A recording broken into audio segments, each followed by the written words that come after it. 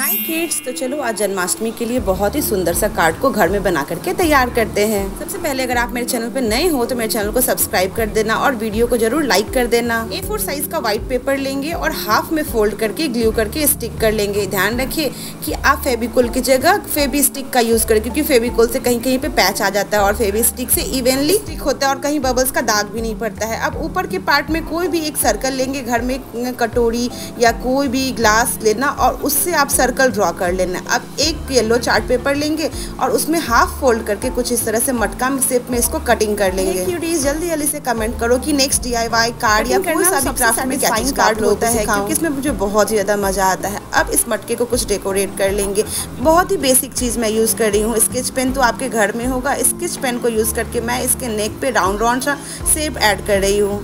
जब तक मैं डिटेल ऐड कर रही हूँ, आप जल्दी से वीडियो को लाइक कर, चैनल को सब्सक्राइबर क्यूट क्यूट सा कमेंट कर दो। मेरे पास मोती और मिरर था तो मैंने उसे डेकोरेट कर लिया। अगर आपके पास ये नहीं है तो आप अपने स्केच पेन का यूज़ करके अपनी कलाकारी को दिखा सकते हैं। ग्लू के छोटे छोटे ड्रॉप को बना करके मैंने यहाँ पे साइनिंग वाला कुंदन लगा दिया है। आप बिना कुंदन के भी इसको बना सकते हैं। मैंने बोला, बहुत ही अच्छा और यूनिक सा कार्ड का लुक बन करके तैयार होगा। जो मिरर मैं खोज रही थी, वो वाला तो नहीं मिला, लेकिन राउंड शेप का मिरर मुझे मिल गया। तो मैंने राउंड शेप का मिरर चिपका करके और चारों तरफ़ आउटलाइन के लिए बिंदी गोल गोल डॉट डॉट लगा दिया। नीचे वाले पोर्शन को भी मैंने डॉट डॉट डॉट डॉट बिंदी से कुछ इस तरह से डेकोरेट कर लिया। मटका तो क्यूट सा बन के तैयार हो गया। अब इसको ग्लू कहाँ करे? तो मैंने साइड में इसको टेढ़े में ग्लू कर दिया। अब मटका को और ज़्यादा हेवी लुक देने के लिए मैंने गोल्डन बीड्स की माला का यूज़ किया। इसको लगाते के साथ ही मटका जो है ना, वो बहुत ही रिच और रॉयल लुक देने लगा। इसको लगाने से मटका की खूबसूरती और ज़्यादा बढ़ गई। इसके एक्स्ट्रा पार्ट को मैंने अरेंज करने के बाद कट कर दिया। अब बारी आती है माखन की। मटका है और माखन गिरता हुआ ना दिखे ऐसा हो ही नहीं सकता।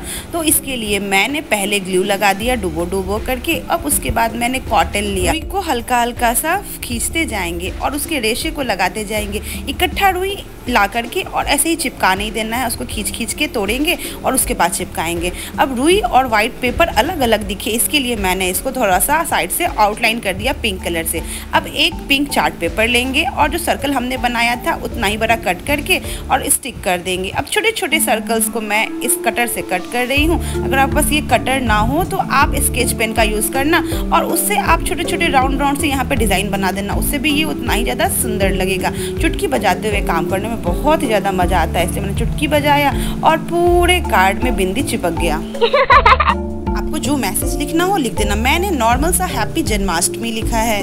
लाइट कलर का चार्ट पेपर मैंने यहाँ पे लगाया है। तो आप ध्यान रखना कि आप थोड़ा डीपर मार्कर से इसको लिखना। अब कुछ गोल्डन मोती से इसको और ज़्यादा हेवी और डेकोरेटिव लुक देंगे। अब कोई सेलिब्रेशन हो और फ्लावर ना हो, ऐसा हो ही नहीं सकता है। कोई भी कार्ड फ्लावर के बिना बहुत ही हल्का सा अधूरा लगता है। मुझे थोड़ा कार्ड खाली खाली सा लग रहा था, इसलिए मैंने पेपर का फ्लावर बना लिया। टू बाई टू सेंटीमीटर का मैंने चार्ट पेपर लिया और चार बार इस तरह से फोल्ड कर दिया।